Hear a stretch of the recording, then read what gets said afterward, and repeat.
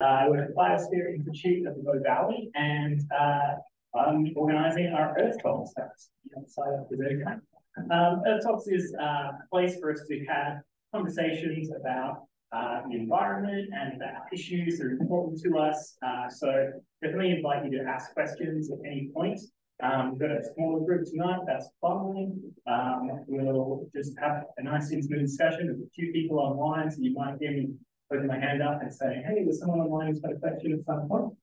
Um, but yeah, that's um, the purpose of this evening. And uh, I just want to acknowledge that we are meeting today on Treaty 7 territory in uh, Churan Kudevi, uh, Canmore and uh, the traditional lands of the Stoney Nakoda nations of Bears Paw, Chiniki, and Houston. Uh, and Treaty 7 territory is also uh, signed by the, the Blackfoot Confederacy, the Tsuut'ina Nation, Métis Nation of Alberta Region 3, and of course it includes everybody else who lives, works, and plays here. Um, I think for me, this uh, this treaty is this agreement and a promise to uh, support the land, to support each other, and to live together in the best way that we can. Um, so yeah, I just wanted to mention that. Uh, it's always something good to have in the backs of our minds.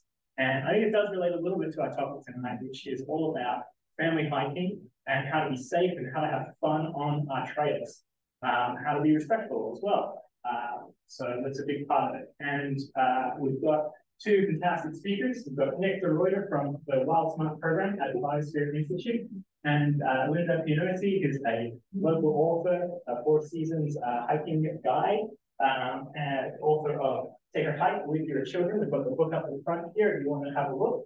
Um, and also has uh, three mountain family hikes as for business. So um, I'll give it over to you two and take it away. Um, yeah, thanks very much. Thanks, Andrew.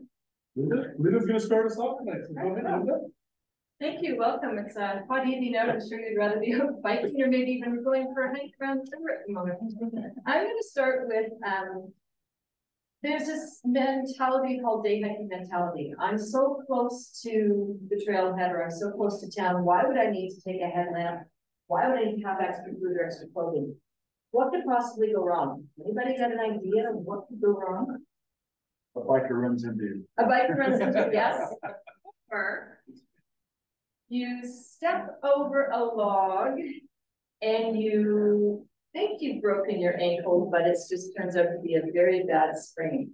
This happened um 2012, I think it was. Uh, while I was going to become a hiking guide, I wasn't using hiking poles. We were in the Sibbald Flats area. There was no cell phone coverage. I did not have an inReach with me or a spot. I was with my youngest son at the time, who I believe was seven, and my husband. And um, we had to, I had to limp out, crawl of my hands and knees at times. And when we got to the stairs that we came down where the car was, I actually scooted up on my bum up the stairs. My husband dropped me off at the Cochrane, um, it wasn't a hospital, but at the Cochrane Medical Center there. And the doctor, I'm, I'm in the, the emerge, I'm in the triage room, the doctor pulls the screen back and says, you better hope that's broken. Because he said, if that's the sprain, I think it is, and he's correct. I have not been able to put my ankle into that particular ankle into downhill ski boot completely since then. So preface this type or preface this talk with the fact that I thought I was I was very close to the trailhead, close to Calgary. There's got to be cell coverage just going for hour and a half at the most, what could go wrong? So after that, I quickly realized that I'm going to go for my um, guiding, full-on guiding certificate. And I now carry and pack a very um, extensive day hike checklist.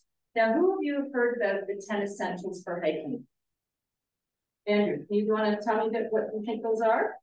Uh, it's just like things that you should always have with you when you're outside. Um, in case something happens, they're probably going to help you out. Exactly. And so if I will just look at the, now I press here, right? Oh, you can see it. So hiking gear, the first line, hiking gear. I had my backpack, I had my shoes. You know, I didn't have poles at the time and I wasn't carrying a child at the time. I did not have my communication device that worked. I had a cell phone. Everything you see in this list that's in red are one of the 10 essentials. I didn't have emergency shelter. Thankfully, it was a beautiful sunny day. It wasn't raining. I was fine.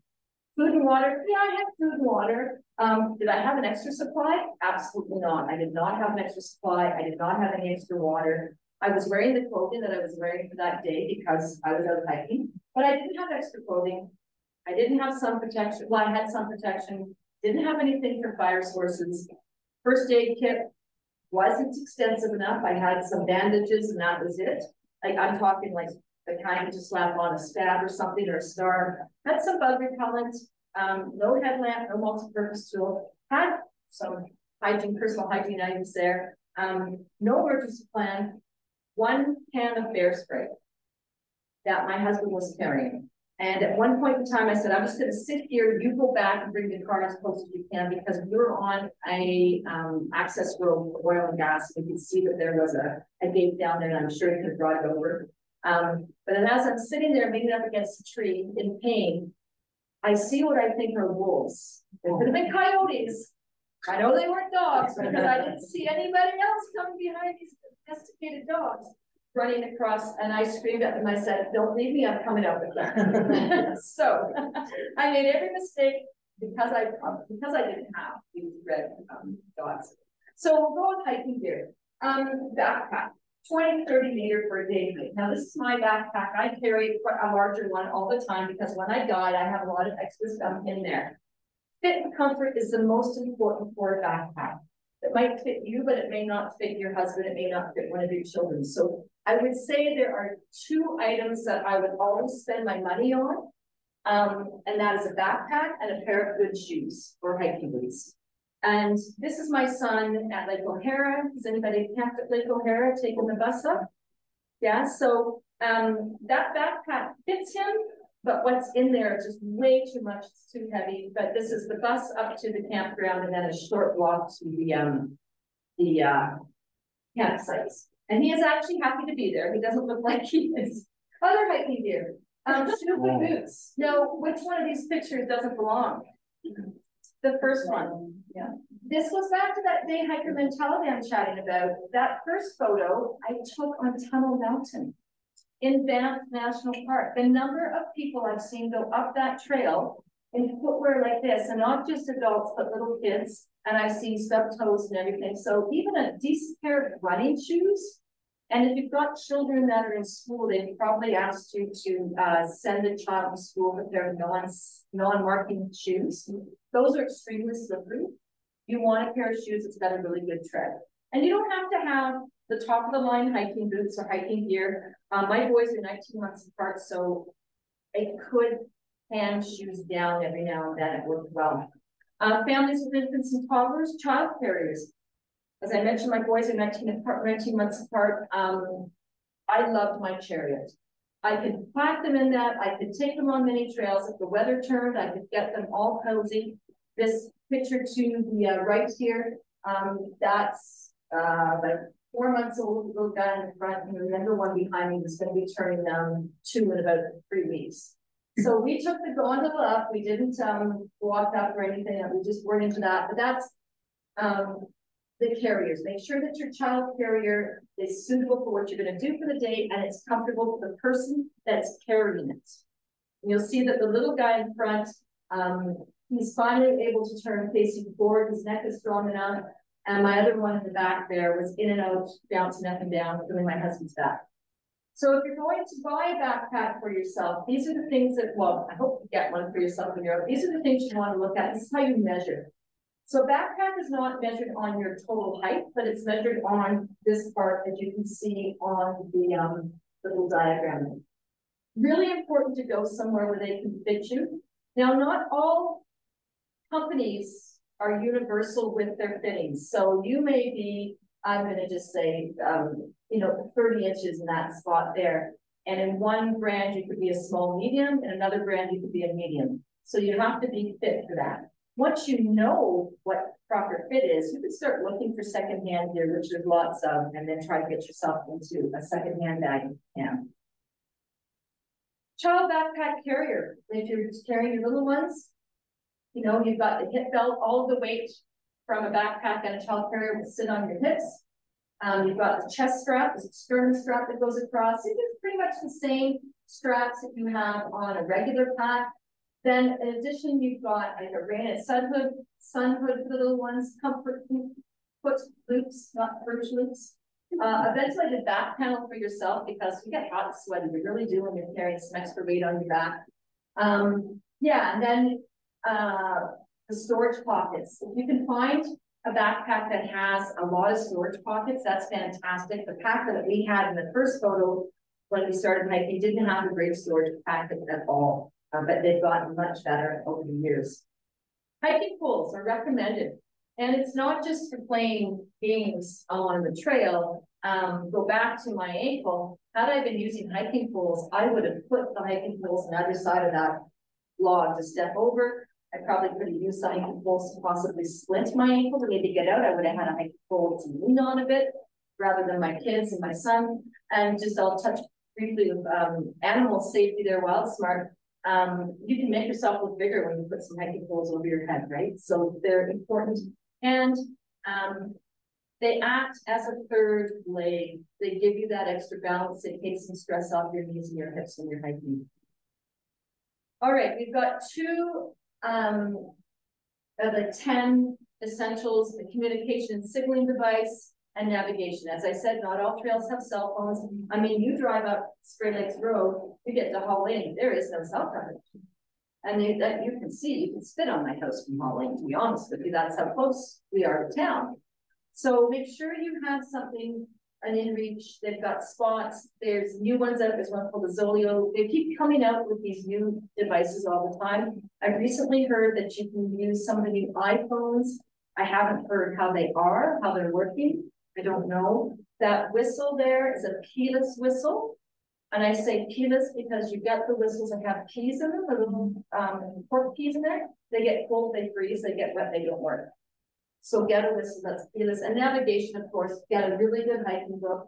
Get, um, you can download all the PDFs uh, from the different parks, Banff, Creek, and Yoho. And when you get to the trailhead, if they've got a sign there with a map on it, take a photo of that map and it's on your phone.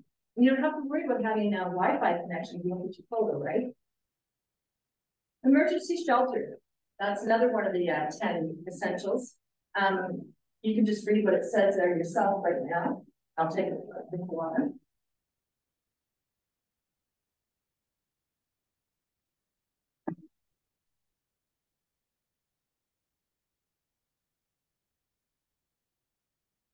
That is not a real emergency. That's my husband. I just wanted to put up the shelter so that we could show people what um what it would look like. So what this is this what's in this bag is that yellow tarp that's between the two trees, quite large. I can get um three or four people under that so we can stay dry. He's in this little sleeping bag, which I carry in the pack.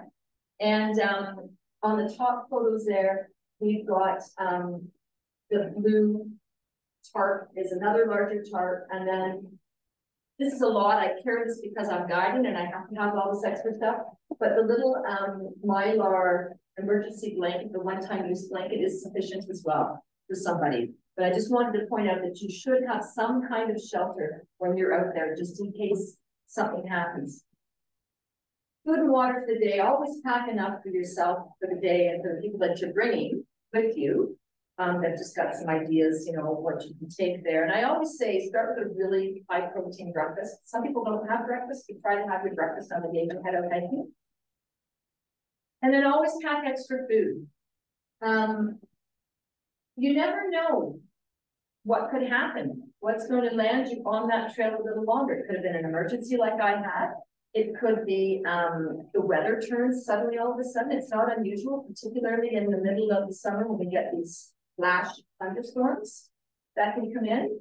And if you're up high on something and you can start to see the big clouds starting to get to gather, get down low as soon as you can because you could have a thunderstorm and then you may have to ride that out somewhere. So you want to have some extra food when you're on that. Or um, I've had individuals that are diabetic that have come up for the day with me and they've gotten stuck in traffic on the way back to Calgary and they haven't had enough food in their car you know, they pack just what they need to pack and off they off they go and then I think I don't need any more. Water. Um, I work with middle school students and the other day we took a group up to Yamnuska And the one little guy had his water bottle about this size done about a quarter of the way in.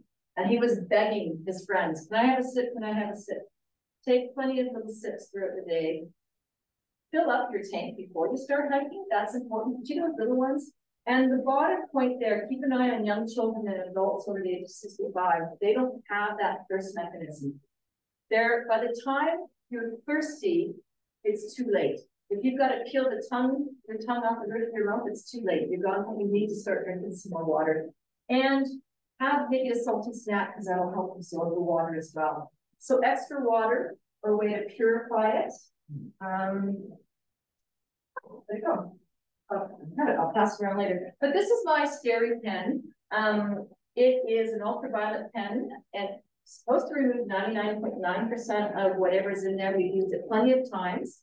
Um, we always, when the kids were younger, we always made sure we picked a hike that had a water source. And this was one of their jobs as they got older.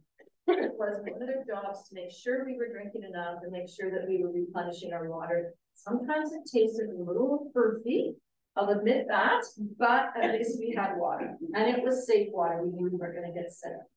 Seasonally appropriate clothing. Well, when you're heading out for the day, you're gonna put some clothing on that's seasonally appropriate.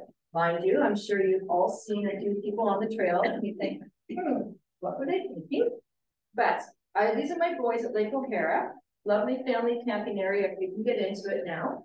And I really like that my oldest who's standing up, he's wearing a pair of short pants, you can zip off into shorts. My youngest has got his shorts zipped off, they both have their hats on. And the shirts they're wearing are not um, the expensive shirts with the uh, SPF factor in them. They're just a really tight weave shirt that will block some of the rays and they were starting to be the teenage, we could start to smell them a bit on the trail there, so it would wick away the sweat as well, which helped. extra clothing. I always have extra clothing. We call it a dry bag. This is my little dry bag here. Um, and in that bag, I have, depending on the season, I will have changed some of the stuff out. But the top row that you see on this screen is what I always have in a dry bag. Wool blend socks, um, wool long johns, wool long shirt, and a wool hat of some kind. And that's because my youngest son, for example, we were at Lake O'Hara, we were crossing a bridge, and he fell into the glacial water. And just a blood curdling scream that came out of him, soaking wet. And I had to get him out of his wet clothes, on top of all of his wet clothes, and I put him into what is in my dry bag. And it was just one of those, another beautiful sunny warm day. He was wearing those light pants that you saw in the previous um, picture and it dried out quite nicely. And so that helped. Um, the little, um, I don't know if this is, you see that? No, lights working. But the far right um, picture there is this here, right here, all folded into my hood. So that's my raincoat, my rain pants. And inside, I will keep this in my backpack now until uh, the start of um, winter, pretty much. Because these are warm enough that if I'm out and I get a bit of a, the important thing is, is to want to stay warm and dry. You want to keep the wind off you and the wetness off you. So I can um, put these on and I can keep that on as well. And then in my pocket here, I've always got a backup of just some light um, wool gloves. And I've got my buff as well for a headgear or a neck gear to help out with that. All right, so extra clothing. Sun protection. We always go out, you know, again, here I am with a tight weave, um, long sleeve shirt. It's not an SPF by any means. I didn't spend the money on it. I've got my hat, I've got my big glasses, and I wear the glasses that come around so that the sun doesn't hit the side of my face. Those pants um, apparently had an S, or the shorts have an SPF factor in them. I've got my hiking poles.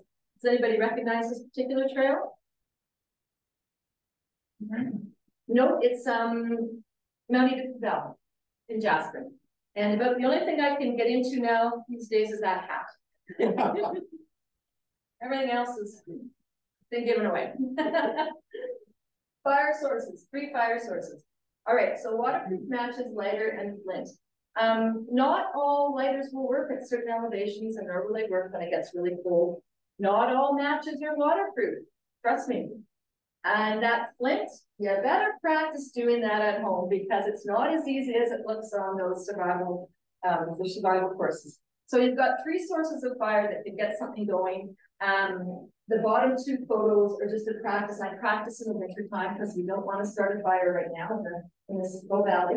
Um, so on the snow, that's a little bit of cotton, a cotton ball, and then I've squeezed some of my hand sanitizer on it. Uh, I've got just some little tiny pieces of um, twigs that I found on the ground, and I lit the flint, and then it kept going, and we just slowly have to build the fire up.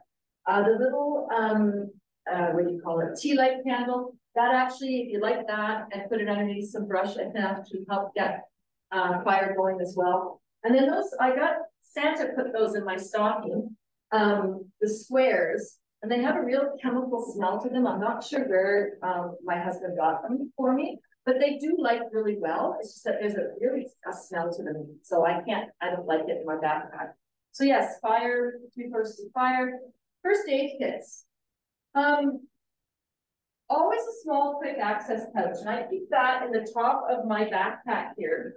And this is ideal for, you know, this is where it goes in here. It's ideal for when little minor owies, you know, and maybe little fake minor owies, but anything to keep them active and going and, and you know, interested in hanging on and, continuing the hike. So that's in there. And then I have my main first aid kit with all of my gear, still in my pack.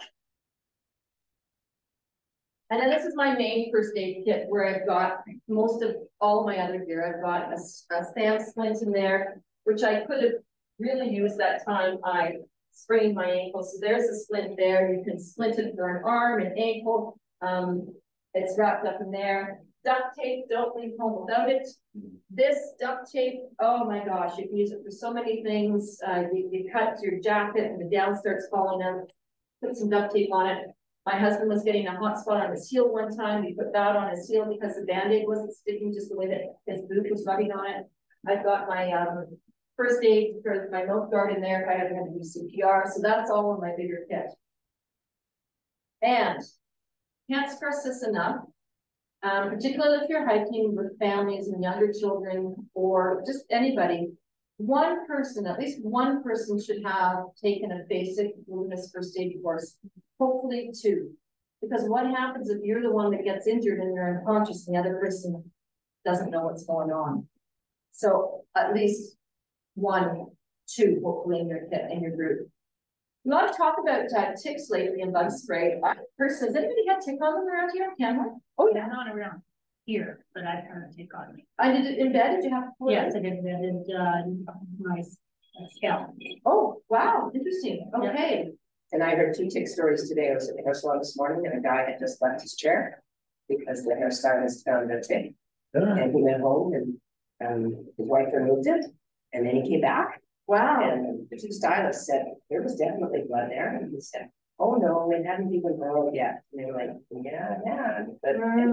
Okay. Yeah, and then a woman came this afternoon and said she figured she picked one up walking, just with her groceries, she set the bag down, but she ended up with a tip on her shoulder. And it burrowed in and she's on antibiotics. Interesting. Okay. So- Now, So start- the ticks here have any, Yes. I'm and from no. Ontario, so our ticks have a lot of stuff.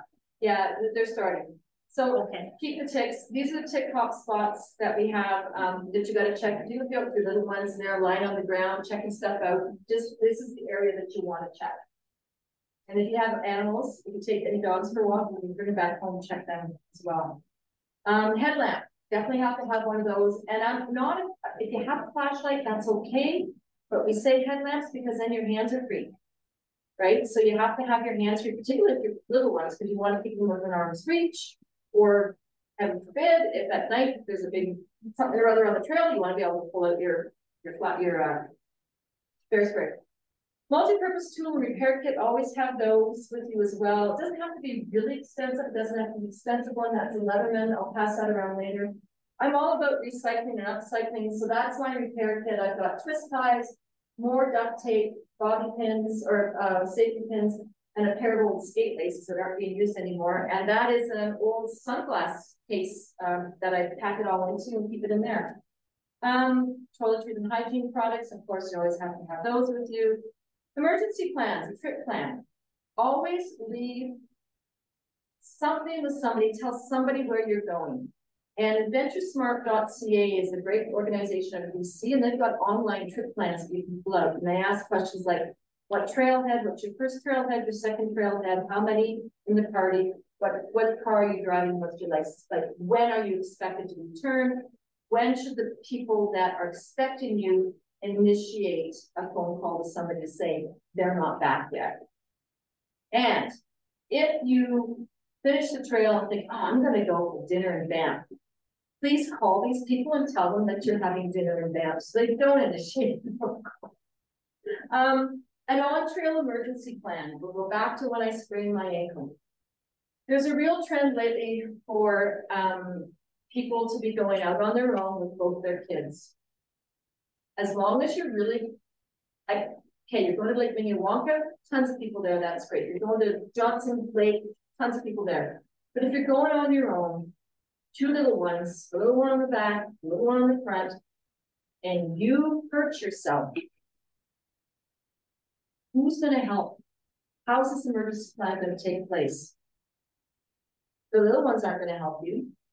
So you're gonna have to have a discussion, you should go with somebody anyway on these trips, you should always have a second adult with you or go to a party, it's always better when there's more. But if you get injured, and your little one is there with you, practice with them at home what they're supposed to do. They're not supposed to wander off, they're supposed to tuck up right beside you. Same thing with you're out there with the group, if something happens, what's the emergency plan that you should be doing if somebody gets injured?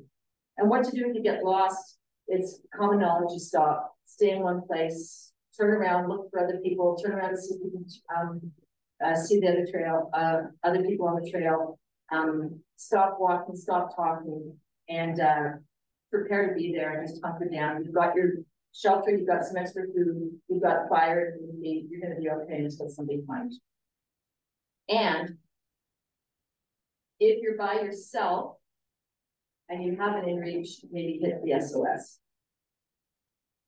Bear spray, always have it. And we'll go over that later. All right, so you've got all the equipment which you need to take. How do you pick the right trail for your own hiking ability or the family that you're out with? We're gonna start on this mountain and we're gonna work our way up the mountain. Number one, you have to be really honest. What are the hiking abilities of everybody in your group? Be honest. You said you're from Ontario. My parents are from Ontario. They come out and the um elevation them. It's, it's, you gotta really be honest as to what your abilities are. What are the ages and stages of your group members? Like, are you some walking, some riding, or some running, or some crawling? You gotta really think about that before you pick the trail. How much time do you have for hike? If, you know, I just finished work at four o'clock. I think I could probably go for the next two hours. Okay, great, depending on the ages and stages and the abilities of your other group. If you're gonna go for a higher elevation, just remember it takes a lot longer to get up these elevations. Um, some of them, uh, maybe not so much, depending on the elevation, steepness of it. Hiking pace and distance covered, you know, you don't really want to um, run on these trails. You want to take it easy and enjoy. Time of year, if it's the early fall, late spring, what are the trail conditions like? You know, in the early morning, it's a little icy. Then it starts to get a little muddy as the day warms up. Time of day. Are you going out at night? I, as a hiking guide, never take groups out at night because I think the animals need the night, the trails at night, not me. Um, so time of day, I try to go early in the morning, particularly in the winter time, so I'm finishing my trail in daylight. And logistics, some hikes are one way only. Or not, sorry, not one way only, but uh, I'm thinking of um, Yoho Pass in Yoho National Park. You don't want to go up and down that in one day. So you may want to have somebody drop you off on one side and pick you up on the other side. So those are logistics. Who's driving, who's carpooling? There's a couple hikes in Kananaskis that are like that as well. What are the best practices to keep your group together on the trail? Once you've picked your hike, younger children are always within arm's reach. So you can touch them and pull them close for a whole host of reasons. Wildlife being one. Um, if you're getting too close, maybe the edge of the cliff that you're not aware of, you're coming up to a water hazard. Um, set the pace for the slowest group member who always hike at the pace of the slowest group member. At all the trail junctions, do a head count. You start at the six, Are there six of you at the trail, at the trail junction?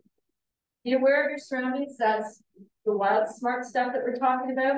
Stay together. One person decides they don't want to continue.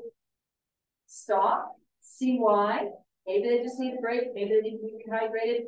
Maybe they're just not feeling well, maybe they just don't want to finish. We all turn around and go back. We don't let somebody go back. Unless you're from here to the trailhead away and you can see the car and that's where they're gonna go and sit for the day. And then, of course, heed all the trailhead signs. You, um, and it says trail closed, barren area. Don't mock to take that photo of the bear in the area. Nick will thank you for that. How much further? You're gonna get that question, not just from adults, or not just from children, from adults. So this is my youngest. How much further? Um, there's games, there's nature's apps, there's nature identification books. These are great for packing with little kids. They're so light. They fold up. This one is specifically for Banff National Park. Um, and you know, they may or may not see the animals, but it gives them something to look at. It gives them something to put into their own little pack because they like to feel like they're doing something as well, right? Um, Merlin Bird, I was just talking about a great app on um, the phone here. Um, there's iNaturalist, Seek by iNaturalist, which is you don't need to have an account for, and uh, sing songs, bring friends, just anything to keep the kids interested and people that you're with interested as well. Dual purpose hikes. I really liked this when the kids were at when they were no longer in the um, the child carrying stages. So the, the hike on the left here is Boom Lake. We hiked up with all the fishing rods for the day. My husband and son fished for the day. The hike on the right is in the Hot Springs. This was after Sulphur Mountain. That's reward for everybody. Um, a good job, well done. Not always mountains. This is Dinosaur Provincial, not, yeah, Dinosaur Provincial Park. Gorgeous park. Hoodoo's just amazing. My boys loved it. I want to get back there. And special snacks. I always threw some special snacks in for the boys. My oldest here used to love making trail or trail snacks for us. We would, as a treat, we would get the uh, dehydrated stuff and he would make it. And then my youngest there would love gummy worms and he still loves the gummy worms. My parting words are live in the moment. Your children grow up. You grow older and might not be able to keep up. That's the two of them saying, see you later, mom at the bottom, pass them out. And for heaven's sakes, don't compare yourself to anyone on social media. Just do what you need to do to enjoy your day on the trail. Here's some important contact numbers for when you, before you head out. Um, I can bring that up later because I know Nick, I've cut into. Okay, yeah. So I can give this to you later as well. Did you want to talk to me first now, or was it question? I know, I'd say, I was gonna say, if you've got some good burning questions, feel free to ask Okay. them now before you forget them. Okay, In your backpack, I, I didn't see anything for pills, possibly aspirin or oh, I, bee- a bee sting. uh, I've got it, it's all in here. Oh, Yeah, it's all in here. Yes, I carry um all of that Benadryl Yeah. and aspirin. Yeah, absolutely. All right. Thank you. Thanks,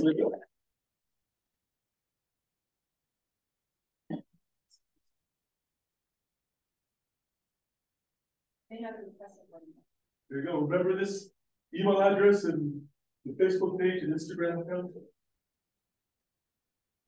All right. All right, thanks a lot, Lynda. So I'm gonna talk about the wildlife side of things. So, you know, we're all prepared, we're choosing the right hike, doing all those things. Now there's wildlife out there. So what can we do to avoid those encounters? And ideally, if we do these things, we never have to pull out our bear spray, we never have to, you know, do the stuff, talk, about that I'm gonna talk about. I teach how to use bear spray, and I have actually never had to use bear spray on any animals. It could be the fact that I make a lot of noise, it could be the fact that my children make a lot of noise. And I choose wisely, I don't go into closed areas, and I, and, and I normally do my research before I go into those things, so. With that being said, as you'll see later, you can do everything right, and you might still run into a bear or other wildlife, so we need to be prepared to handle those encounters. So easiest thing right off the bat, make noise. I like to say, ayo. Some people say, yo bear, which is fine, it's noise, but for me, it's confusing because if I hear someone say yo bear, I think there's a bear. Because if I saw a bear, I'd say, hey, bear. So any kind of noise is good. It doesn't matter what you say, just loud noise. Now, when I'm talking, if we go out for a two hour hike, I don't mean for two hours straight that you say, hail, hail, hail, hail. I'm talking if you've got a wide open straight trail, you can see lots of sight lines, you don't need to be making noise the whole time. But anytime you're going over a hill, you know, blind crest of the hill, around the corner, thick vegetation. And sometimes you'll get in spots where you're like, if I was a bear, this is where I would hang out. You get that tingling feeling, then there's probably a bear, and chances are you might see a bear there. So they make some extra noise in those spots. The human voice is the best tool to make that noise. Travel in groups. Um, you know, we were talking, we're talking about traveling groups, how much safer it is. Ideally, four or more. Uh, that doesn't mean you'll never get into an encounter with any wildlife, but they did research in North America over 100 years, all the black bear attacks, and over 92% were people that were by themselves or the two. So the bigger your group, the safer you're going to be. You've ever noticed those seasonal travel restrictions in places like Lake Minnewanka, other places in Banff National Park? One of those restrictions is you have to have four or more people. They didn't just randomly choose that number out of a hat. Based on the research, it is much safer the bigger your group is. And you automatically make more noise and you're more intimidating to wildlife. And you really want to keep those children close by. Being aware of your surroundings is key. Look and listen for signs of wildlife. This time of year, there's still a fair bit of mud. Well, not with this kind of weather, it's going to dry up quickly, but you know, up higher, there might still be snow on the ground, mud, look for signs, look for scat. Um, if you see a fresh steaming pile of scat on the trail, there's a bear in the area. Uh, and I've got a couple of pictures of some scat after this. And if there is that fresh scat, you know, either turn around or make extra noise, pull your bear spray out, be ready. Almost everyone I've talked to that's been in a bear close encounter or a bear attack, when they think back to like, okay, what were the events leading up? What could I have done differently? Almost all of them say there were signs and I didn't take them seriously, or I just forgot, you know, I saw that fresh pile of scat, I saw the steam still coming up, and I didn't get my bear spray out, or I wasn't making noise. So really, um, be aware of your surroundings. That's the best thing I can say. Just look and listen for signs. Don't wear earbuds. See a lot of people, you know, trail running, mountain biking, hiking with earbuds in. You can't hear your children or other people's children or other people might be asking for help. Help, help, you can't hear them. And most of the animals here are pretty tolerant of us and they give us lots of warning signals and sounds if we're too close. Bears might do a, you know, a jaw popping or like a roar or a woof. You know, elk might be stomping their feet all these things make noise. If you're wearing earbuds, you can't hear those warning signs.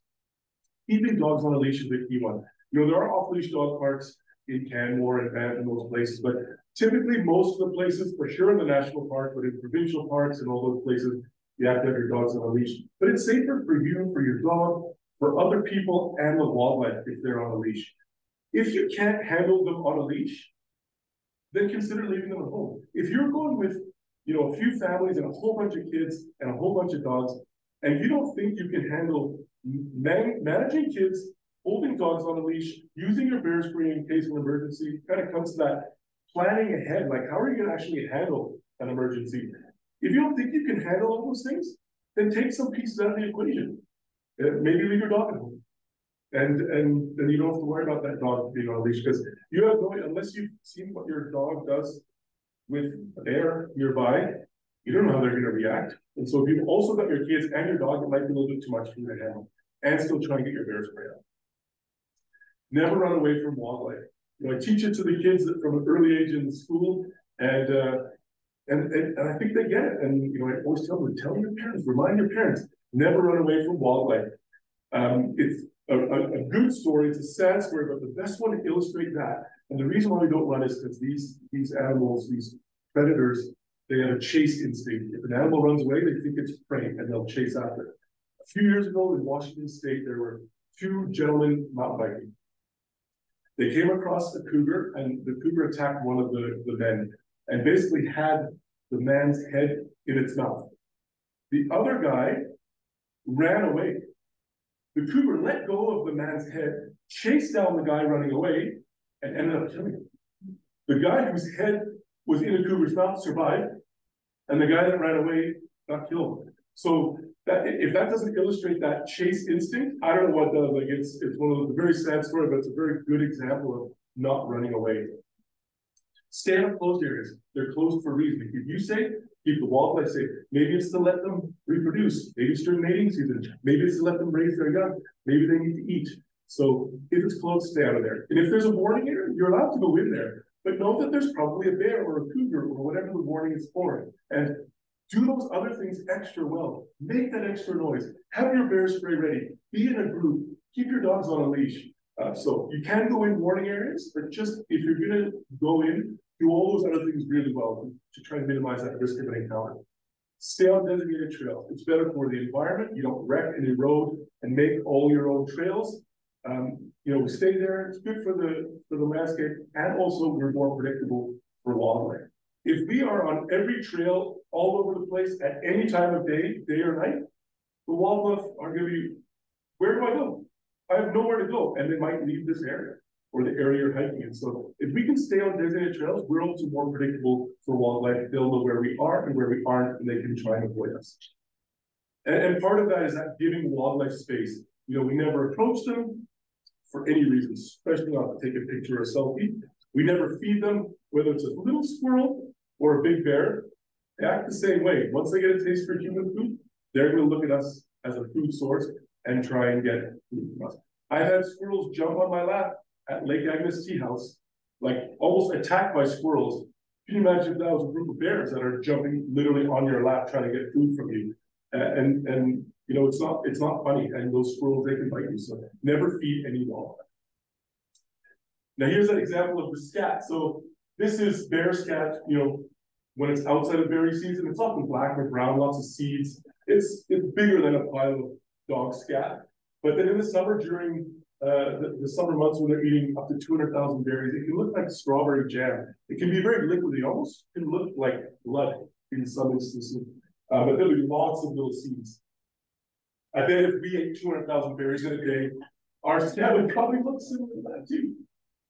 And like I said before, we can do all those things right. We can do all those avoidance things, but still run into a bear, a cougar, a wolf, and elk. You know, wrong place at the wrong time, you never know. So I want to teach you three simple words to remember how to handle those encounters. Does anybody remember what words were you taught when you were younger? You were caught on fire, what do you do? Stop, drop, roll. Stop, drop, and roll, exactly.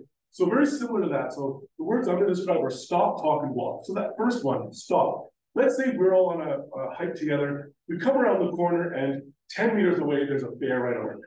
Now, first thing we do is we stop. We do not run. We never run away from wildlife. We gather a group together, and I'd be getting my bear spray. 10 meters away, I'd be getting it out and having it ready just in case. Don't worry, this is inert bear spray, it's not the real things. Don't be worried if I'm aiming it sort of in your direction.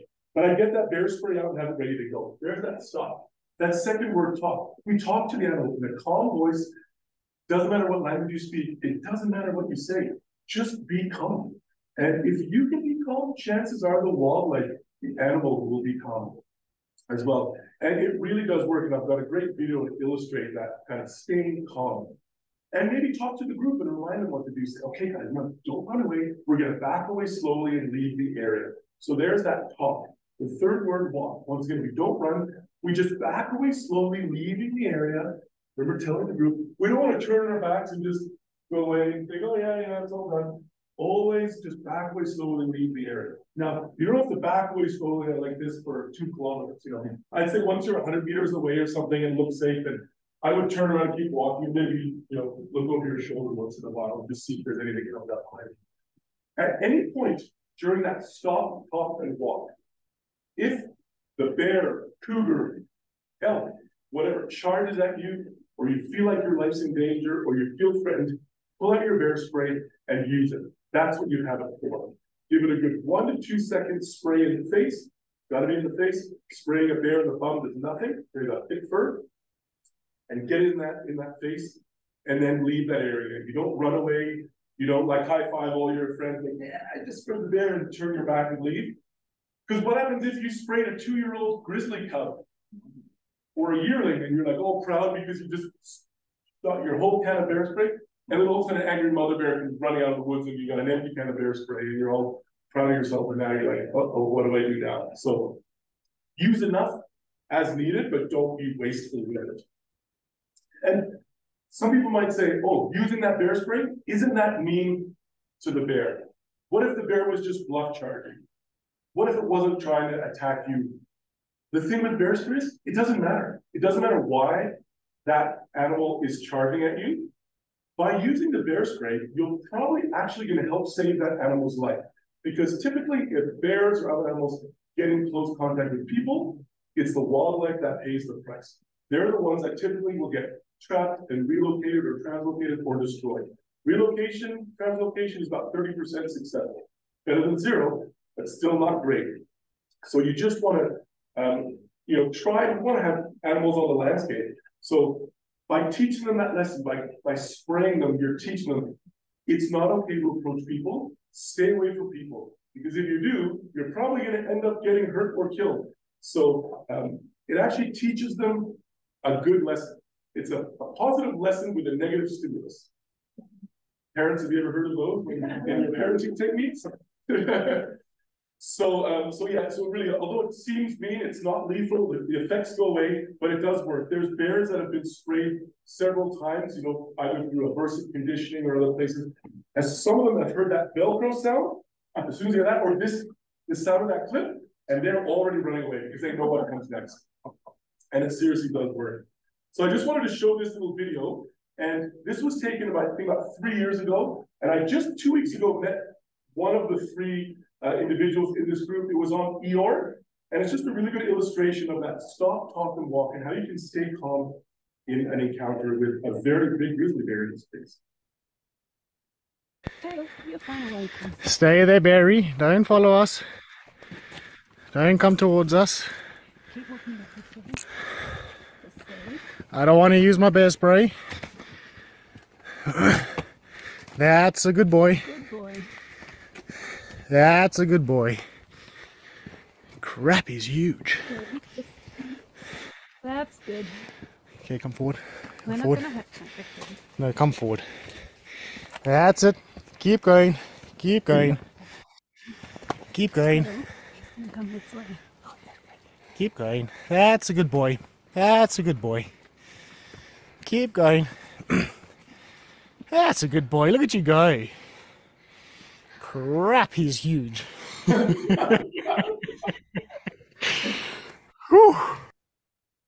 I just, I just love showing that video because it just, it's just a perfect example of a very well handled encounter. They were, they were calm, they did all those things, they talked to each other, they talked to the animal, they had bear spread out.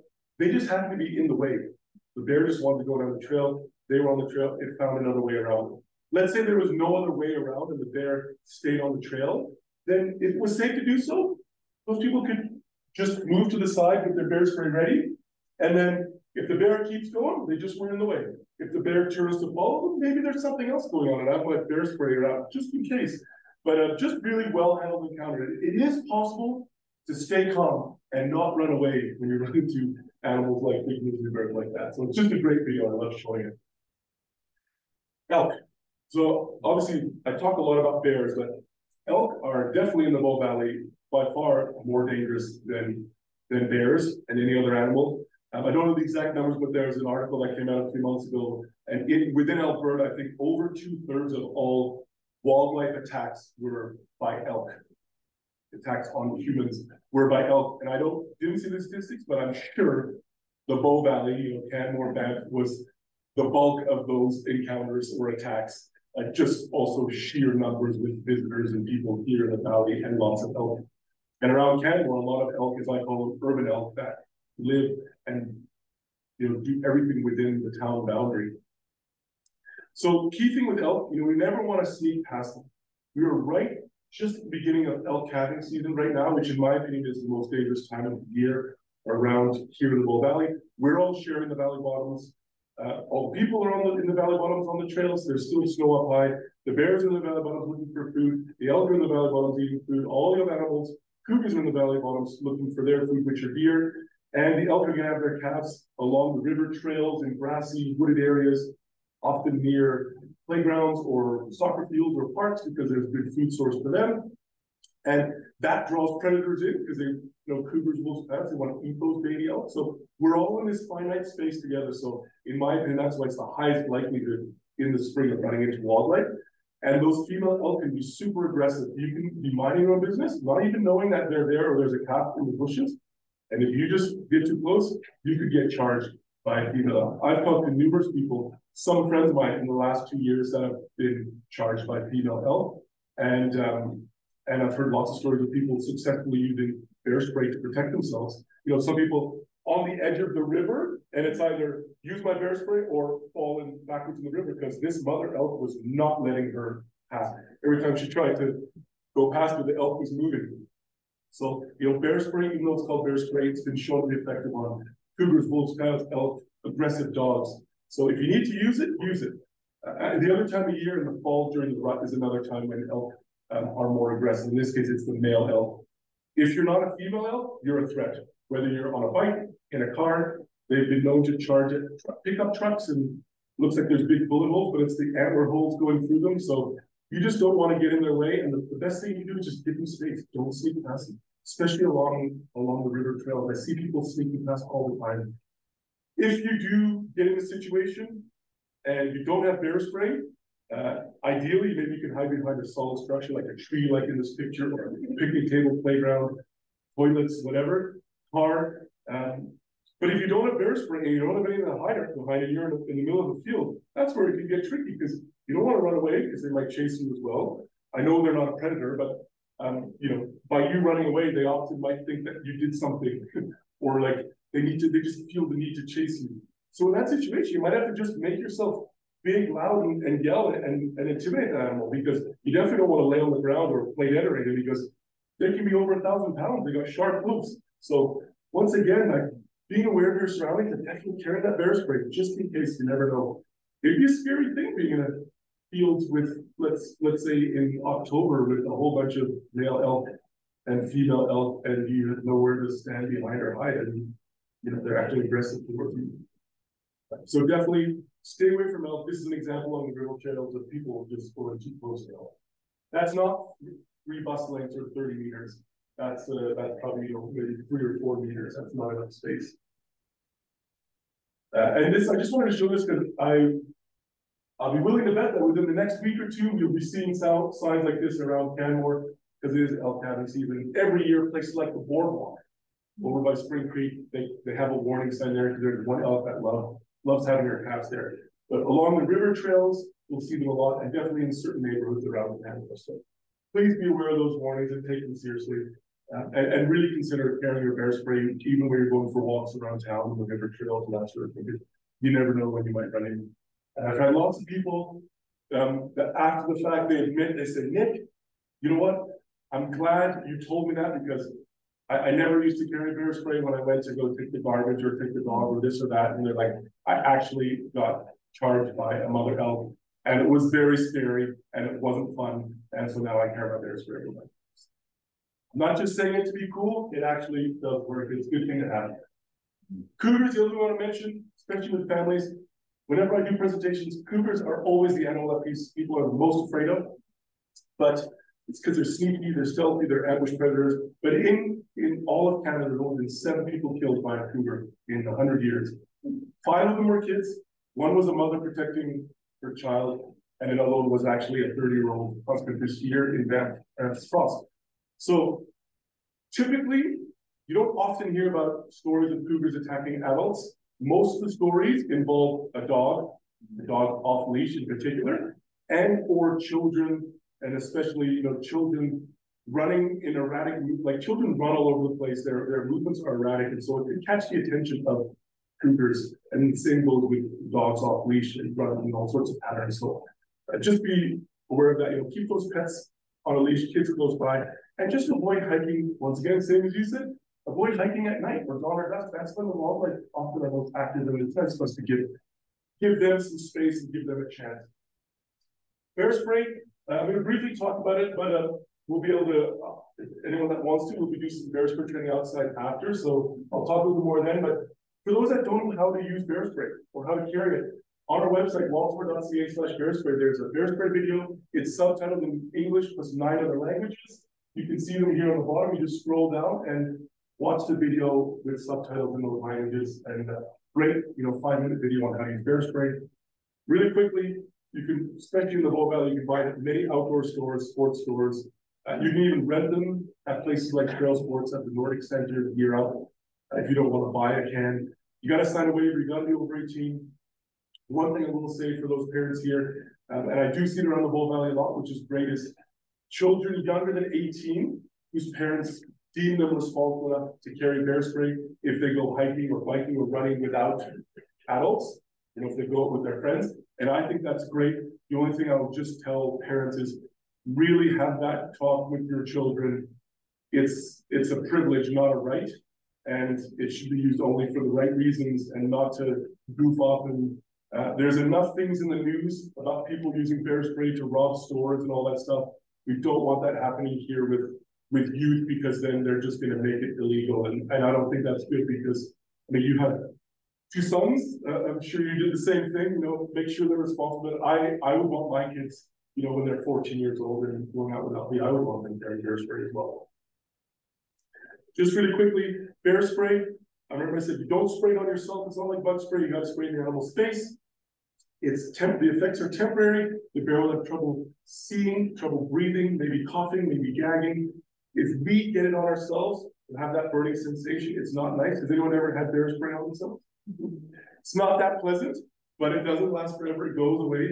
A really good tip to have in your backpack or your first aid kit is that Johnson Johnson baby shampoo. Because um, you never want to rub, if you get bear spray on yourself, you never want to rub because it's oily. But that baby shampoo is designed not to irritate the eyes, hence it's used on babies.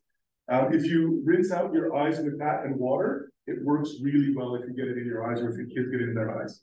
Uh, and that's, that's, the, and otherwise, if you're out hiking or camping and you get it on yourself and there's a creek or a lake, I would dunk my head in or dunk my arm or whatever I sprayed on in the water. Cool, clean water good way to get it off.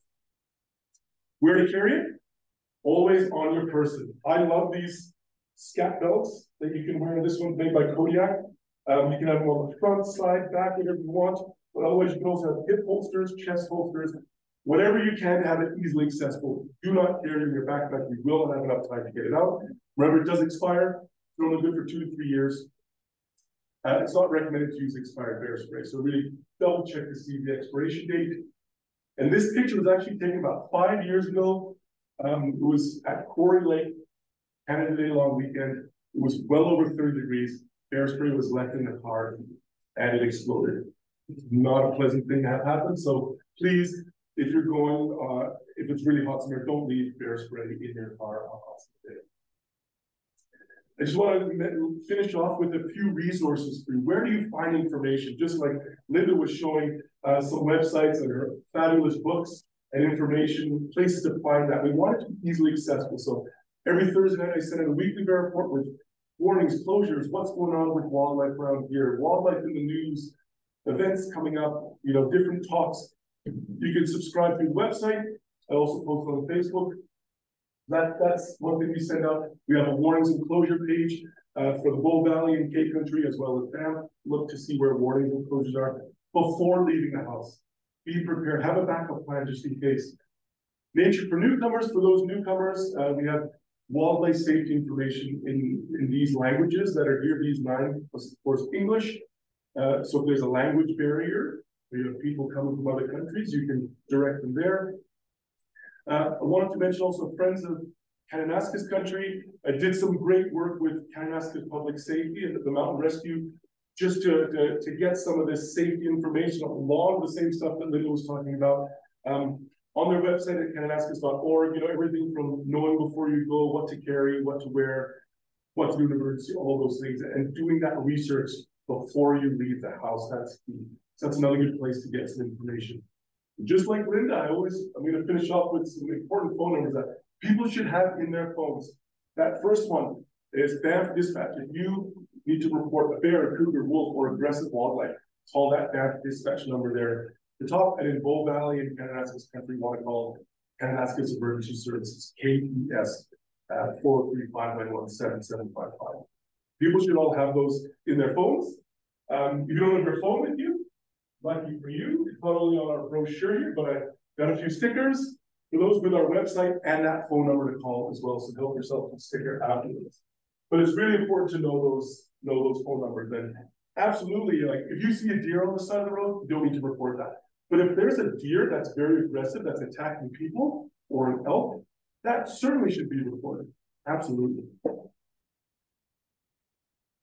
And I'll just finish off with my contact information as well, and, um, wanted to open up to any questions, and, uh, for those that are able to stay, I'll be talking more about bear spray outside. We'll actually get a chance to try the bear spray, but are, are there any questions, uh, from anyone in the room, on anything that I covered or that I maybe didn't cover? Yeah, I have a few. yes, So, um, I have a dog yes, and I have to walk him at night, like ten or eleven o'clock. And we live up, uh, Three Sisters. So there's elk in the evenings all the time that are on the different people's lawns. And they said there was cougars just down the valley before Deadman's flat. Yeah. Um, and I'm sure there must be bear around. Uh, anything for me, I try not to go very far at night when I walk the dog. I always have a headlamp, have my bear spray. Um, but, um, I have to go a little way around him. That's a little parquet, but we don't go anywhere else. Cause I'm quite nervous to walk when there's not usually people out. absolutely, and, and you're, you know, And he's a it's medium sized guy. Yeah, the key thing there, keep your dog on a leash. I mean, ideally, if you can stay in lit areas, that's gonna be a little bit safer for you. But Okay. yeah, where you live, yes, there was a, a, a a cougar warning there a couple weeks Yes. ago. There's always elk and bears in that area, so you just happen to live in an area where there's lots of wildlife. And that's a risk you have to be willing to take, uh, if you're gonna be going out at night. Yes. Definitely make noise. You don't wanna be walking around really quietly through all those. The shadows and the bushes, so. Yakking away to the dog. Yeah, like just make noise, just don't be going around quiet in the dark, that's what I would say. If you can stay in more illuminated places, have your flashlight on or headlamp, great. Uh, but just understand, there is that risk, you are going out at night. You're backing up right by where the wildlife corridors are, there's golf courses there, you Yes. there- there are lots of animals there. So I, I tried to take a flashlight too, to see if I can see in the eyes. You know, and I checked if there's, um, ways the houses are kind of hanging all over, so if there's runways underneath. And I always check those areas before we go out of kind of our sort of place. Um, so if, if I was doing that night. Um, and I see something and we're out like a house or two, we don't go very far. Um, and the dog starts barking, what do I do? As I can hold him. And I can back up, but he's probably going to be barking. Yeah. And trying to, And that's okay, and just don't let the dog pull you towards No, where it wants to go, just but You I can't stop the barking. No, I mean, there's not, uh, uh, unless you muzzle your dog, you can't stop that barking, and they're gonna bark, there's gonna be smells and all different Yeah. sounds, and so just. As long as you be on control, I would just back away, leave that area, just leave the area, don't.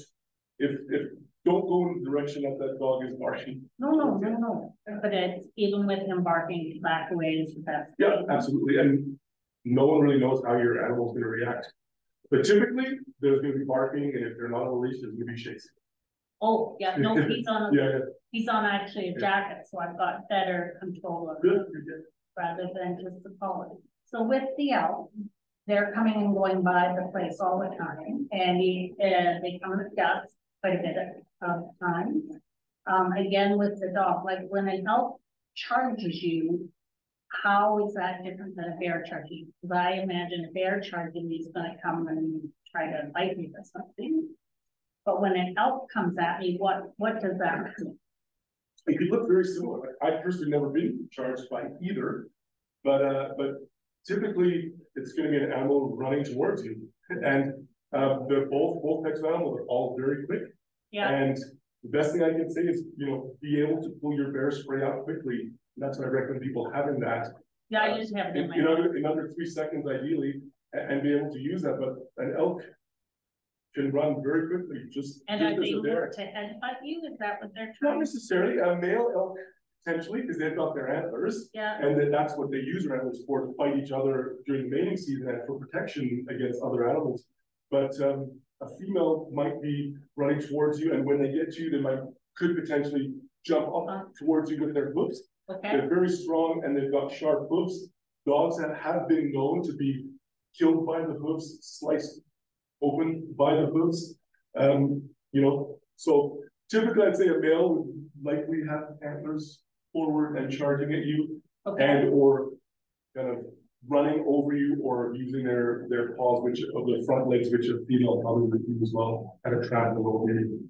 okay, But, uh, yeah, I've never been in it myself, but from the, the friends that I have that have been charged, it was just kind of the animal running towards them. It didn't actually make contact, it was just kind of pinned them against the fence. yeah, right and I suppose that, at best I could do is just kind of lean against the house and kind of go along the wall maybe to get that in.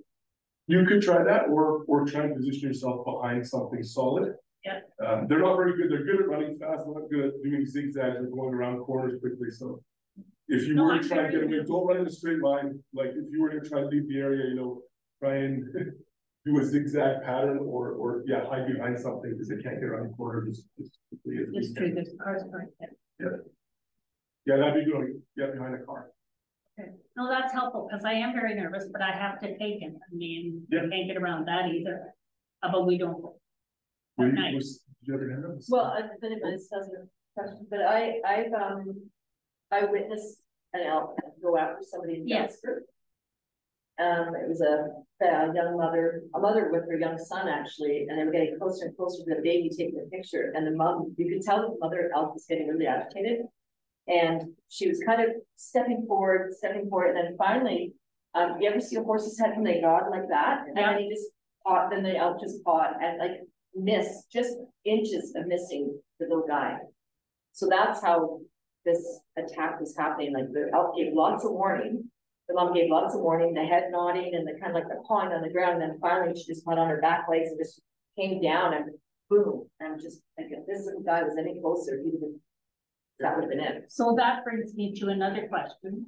Um, is my grandson lives like a street over and uh sometimes he'll be out walking around uh after dinner with his mom and dad or myself. And the elk are coming, because we're on a corridor, so the elk are coming across and you say don't go beside them, but. You know, we're stepping out of our house and they're there. Right? And maybe we haven't seen each other or whatever. Um, like, are we better to go in while the elk are crossing? Is it like, it's the grandsons too, and Yes, this brings me, uh, without getting into too much thing about the whole urban elk issue in my opinion, which is. I know opinion, it's a huge issue. Some people really like having elk in town, but it causes all sorts of problems, and in the long run, it's not gonna be good for the elk to be in town. Um, but it's actually a learned behavior. These elk have learned, if I can act, if I act aggressive to these people, they're gonna step away, they're gonna put this nice yellow tape around my perfect spot that I wanna hang out in, and no one's gonna bother me. And they're just gonna do, that's a learned behavior, and they realize, oh, I can do this, and I get peace and quiet, and I'm kind of in town, there's no predators, cause they're outside of town, this is oh, amazing. okay, But they, they, they've learned this. This is not just natural behavior from elk. Uh, and so, you know, back in the day, if an elk set foot in Canmore or in other towns, they'd get shot or eaten. And right, those elk that weren't smart and didn't realize that, they died. The ones that were smart and realized that they stayed in of town and they reproduced and that, that kind of instinct or whatever of not living in town kind of got passed on. Uh, but now over the years, elk have figured out that it's safest in town. yes, 'cause And we're so- right on the edge of the Exactly. yeah, And so now it's coming to the point now, exactly where elk who might be in your front yard yeah, and you can't even leave the house. And you're, you're scared to leave the house, right? That's, that's where that, where it's a bit tricky with that whole urban elk thing. So I mean, I would recommend, uh, you know, for you right now, that's, in that case, just, just give them their space.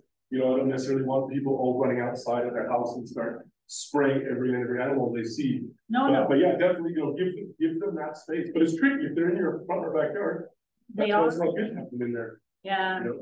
There's nothing wrong with, with yelling, shouting, trying to get them out of your backyard, yeah, make it unpleasant for them, yeah, um, and hopefully they'll uh, come back all the time. yeah. But it's hard in the area where you live, so many, there's so much wildlife. so much. Yeah. Okay, Are there any that's questions? helpful, Are there any questions from anyone online?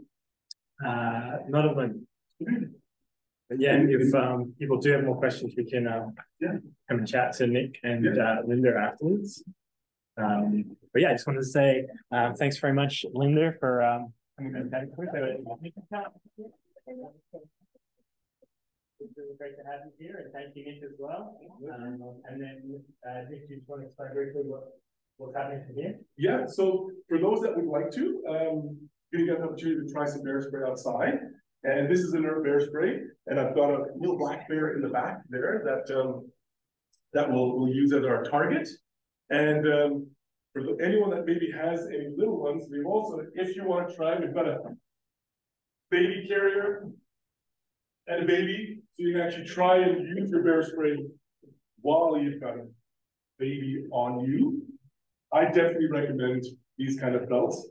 Um, I, I have two kids, a six and a seven year old, and I've always, always had this belt on, and always on my back, on my right, whether I have it in a child carrier, or I'm camping, or I'm mountain biking, whatever, hiking, it's always here, and I've always practiced pulling it out with that, all that different equipment no matter what I'm doing, to get that muscle memory, because you might have to pull it out in under three seconds. So, um, being prepared and planning ahead and practicing is key. And, you know, Lynda mentioned as well, you know, you just, just gotta get practice and just be prepared. And this is all stuff you can do at home.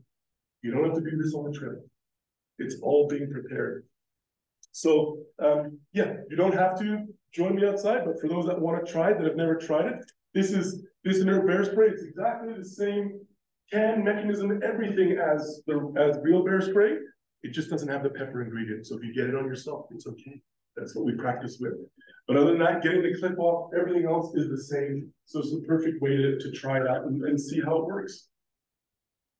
Uh, does there, I guess it's pretty warm outside still. Say, maybe I'll, maybe I'll do the, the little bit of the talking here and then we can go outside to the actual spraying, because it might be hotter there.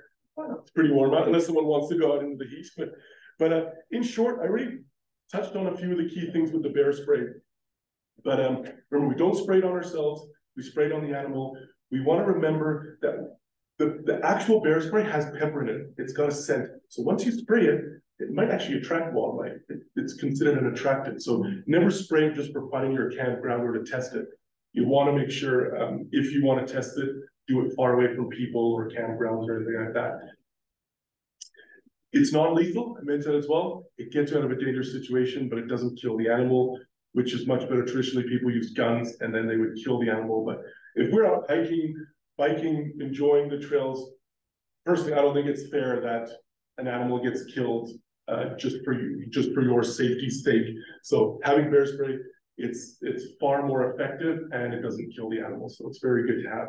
I already mentioned it's got to be carried on your person, hip holster, belt, chest holster, not in your backpack. Uh, so it's about fifty dollars, and there's an expiry date. Remember, two three years. And in terms of um, the the two main numbers you need to know, I already told you one of them. Four or five meters is the average range that it sprays, about the length of a car, which is about from me to you. Some cans like mine say nine meters. I think on a no wind or downwind situation, that's probably realistic. I don't know if I would trust the nine meters. And then the other number is six to eight seconds. The average can has six to eight seconds in it. Once it's empty, it's empty. So you want to spray enough to get in the bear's face. That's why I recommend a good one to two second. But don't just waste it because, like I said, there might be more bears in the area. Once it's empty, it's empty. Now, some people often ask, uh, what if I use it for one second but then don't need it for another year or two, should I buy a new one? That's really up to you. Typically, if you know for sure that you only used one second, it's pretty safe to assume that you know you've got at least four or five seconds remaining in that can. But if you spray, if you're actually spraying it at a bear, adrenaline's running, time, time may not go as you see in your head or remembered in your head. So you might not be sure exactly how much you use. So when in doubt, I would say just get another get another can uh, just to be safe. And over time, once you've sprayed it, it might leak out a little bit. So that's why if you sprayed it once, if you have it on the shelf for two or three years, um, I don't know if I would trust it um, completely. So then I would just buy a new can. So four to five meters, six to eight seconds are the two main numbers you need to know. And when you're spraying a bear, today it's going to be unrealistic because I don't have a moving bear with me. The bear is stationary, so it's not as realistic in real life. If you're using bear spray, it'll be because a bear or animal is running towards you. Otherwise, why are you using your bear spray? It's only to save your life if a bear or animal is running towards you. So if you were the bear, sorry, I'm not picking on you, but you're just the perfect distance away. If you were the bear charging at me, if I sprayed it at your face, it would go over your head because as it got to you, you actually would be here because you're running towards me. So I would rather spray where your head's going to be. So if you were the bear, I would be spraying right down towards here, because by the time the spray gets there, that's when you're there and your face would go into that cloud. Does that make sense? So make sense. So when in doubt, it's better to spray low than high. And when you're spraying, you don't have to necessarily be all calm and like, it's okay, bear, have a nice day. If you're at the point where you're spraying the bear spray, you want to make it as unpleasant as possible. So get out of here, ah, whatever, whatever negative, a negative stimulus. You want to add, you know, loud noise, whatever. Make it unpleasant for them uh, at that point. At that point, you don't have to be like, it's okay, nice bear here. I'm going to spray you now. Shh. like just yell, scream, whatever you need to do. Make it unpleasant. Uh, and then once you've sprayed that bear, once again, don't turn around and run. You want to back away slowly and leave that area. And in terms of I see a lot of people, you know, they pull out and they use, they use one hand. The cool quick drop. Now this is pressurized. Almost everyone I see using one hand sprays too high. Because when you push it, it goes because it's pressurized. So use those two hands. So the best thing I can, the best technique I can say is once you pull it out, get that finger through the loop, other fingers behind. I see this a lot. And then people spray their own fingers and then it ricochets in their eyes. So fingers at the back and uh, push down that lever and that activates the spray a good one or two seconds. And then into the bear's face and then you. But that second hand just helps steady it. And if you're already using it, you probably got adrenaline going and you're nervous, whatever, and you just want to just get to steady it with that other hand. Are there any questions on on that? The, the quick and dirty on how to use your bear spray. And it's the exact same with real bear spray. The only difference is this doesn't have the pepper and it's white. That has the pepper in it and it's yellow, orange, or brown in color. It's a little bit more powerful, the kick on a, on a real can than this, but it's very, very similar. And once again, there's that video on our website at wildsmart.ca if anyone wants to watch uh, more on that. So if anyone that wants to come try it, come on out. Uh, is anyone going to want to try the baby carrier? Or We'll pass that. you're, you past that stage?